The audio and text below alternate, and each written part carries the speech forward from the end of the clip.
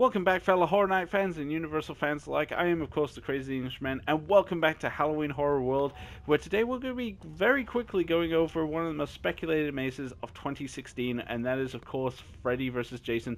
Now, I'll be just cutting the bases because obviously we're just into February, uh, so there's not a lot of information about the event uh, to go on at this point, but uh, Freddy vs. Jason does have quite a go- bit going for it as a possibility at the event. Um, first off, let's talk about John is really enthusiastic about the property. Um, definitely was showing how popular it was at 25 in Orlando last year.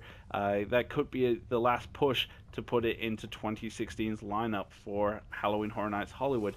Also, the merchandise has already been done, so it's a simple fact of them transferring those merchandise for Freddy vs. Jason over to Hollywood. So it's not too out of the way um, for them to do that.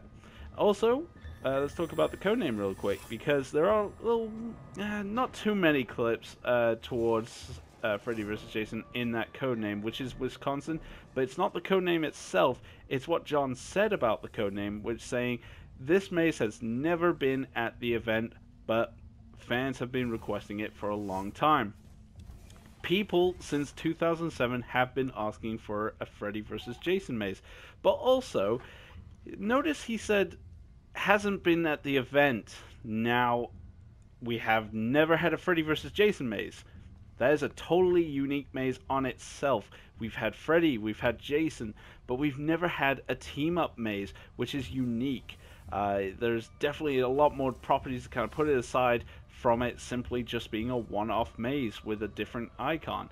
Um, so, in the same vein as AVP, definitely uh, definitely will bring some new experiences to the event. Um, so those are just my some quick thoughts on Freddy vs. Jason. Here's hoping as a fan of Jason, I would love to see Jason go against Freddy and beat the crap out of him. There's no bias there. but no, I would love to see these two icons go at it. So I hope you guys have enjoyed this video. If you enjoyed it, feel free to like and subscribe. Until the next time, this is the Crazy Englishman signing off.